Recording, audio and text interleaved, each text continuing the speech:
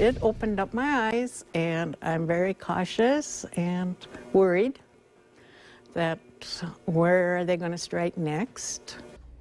Residents are on edge after learning of another small town robbery. Thanks for joining us tonight. Hitterdal, Minnesota is looking for this man, believed to be in his mid 30s. They also have this photo of what they say is a dark getaway car. The man held a long gun and demanded money from the State Bank of Lake Park in Hitterdal. Hitterdal is about a 40 minute drive northeast from Fargo Moorhead. Valley News Team's Krista Baim visited another small town in Minnesota that knows all too well the uneasy feeling.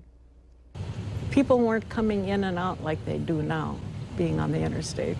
Things have changed for Marilyn Danielson, who has lived in Rothsay for nearly 50 years. It's faster paced now and the talk of the town continues to focus on an armed robbery at their local bank three weeks ago, just a block up where Marilyn works. I had just opened up the store and I thought of locking the doors. I had no clue. We keep asking, have they found him yet? Officers are still searching for the man in these surveillance photos.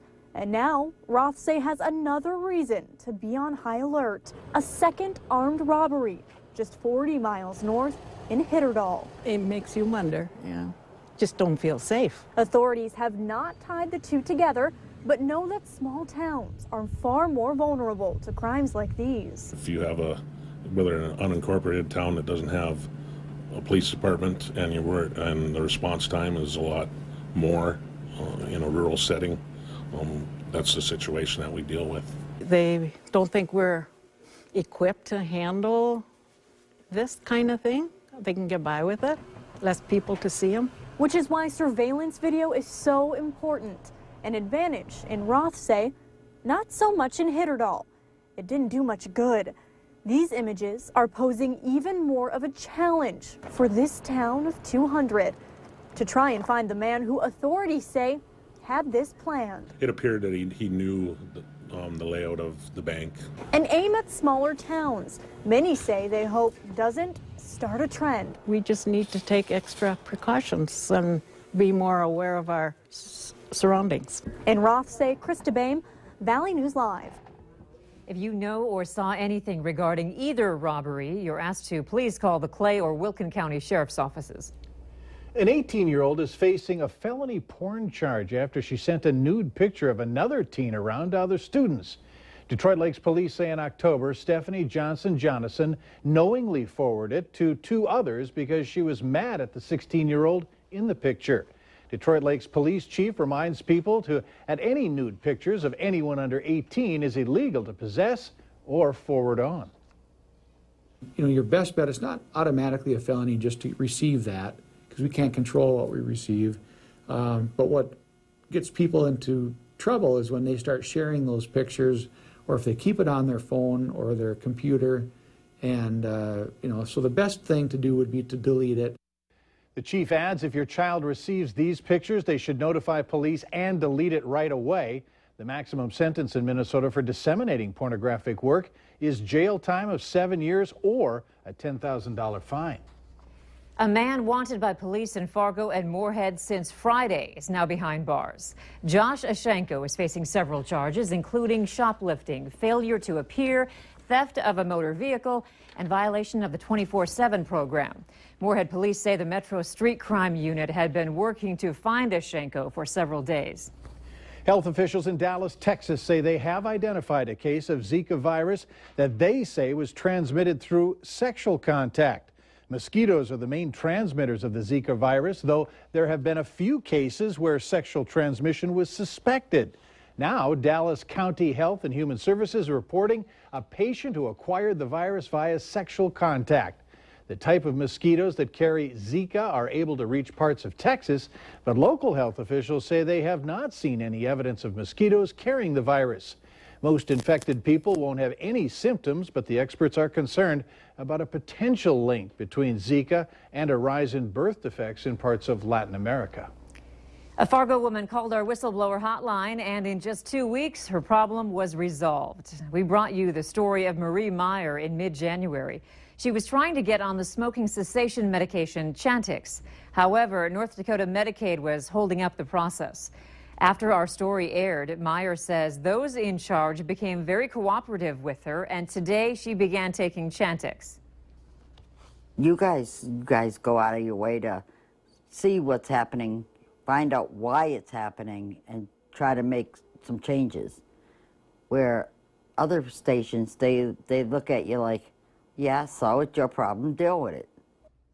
Meyer says this situation has changed her outlook on life. She has started a blog and plans to help people who, like her, might find themselves in difficult situations. Meyer first contacted us through our whistleblower hotline. And if you need help uncovering an issue in your community, call our whistleblower hotline at 701 237 6576 and leave your tip. We want to clarify a story we aired last night. It mentioned bird flu being confirmed at a western Minnesota turkey farm. Now, the information in that story was outdated.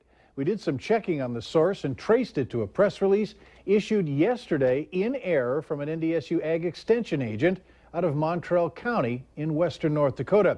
We apologize for any confusion it might have created. It's Tuesday, so that means it's time for Restaurant Report Card. And this week, Valley News Team's Cornelius Hocker takes us to four Moorhead businesses who had all critical violations. Four establishments in Moorhead racked up a combined 12 critical violations for this week's Restaurant Report Card. The first is Days Inn, which received seven critical violations, three dating back to last September, including not being able to clean dishes properly due to maintenance issues. We reached out to Days Inn but did not hear back from them. Burger Time in Moorhead only had one critical violation, which was not maintaining an employee health log. Gio's Grill and Bar had two critical violations, dealing with not dating food properly and not cleaning their ice machine. The only establishment to get back to us was Crack Cafe and Deli. They had two critical violations. The person in charge at the time of the inspection didn't know proper food temperatures, and they had yogurt, roast beef, tuna, and chicken salad sandwiches all in a display case that wasn't keeping the food cool enough.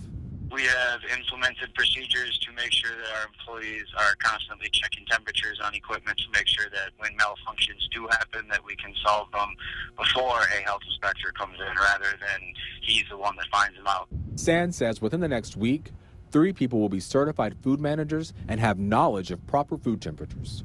For Restaurant Report Card, I'm Cornelius Hawker.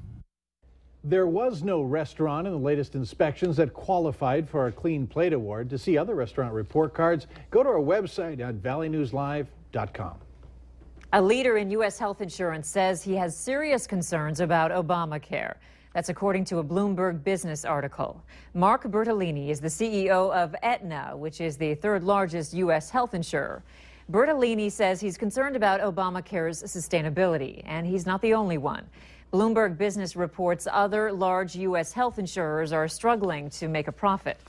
According to the article, United Health recently announced it will have about $1 billion in losses on Obamacare plans and may quit the program in 2017.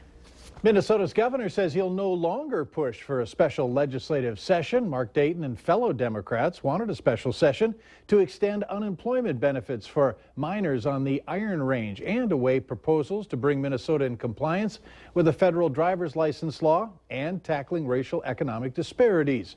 Republicans have argued the issues can wait until the legislature's scheduled return in March. The Minnesota State Patrol reports hundreds of crashes statewide as a winter storm pushed across the state. Troopers have reported over 300 crashes across Minnesota. In addition to that, there were also hundreds of spinouts. Cities like Minneapolis, St. Paul, and Mankato declared snow emergencies, causing many schools to close their doors. And Hutch is reporting that the Twin Cities has received from four inches to a foot of snow. That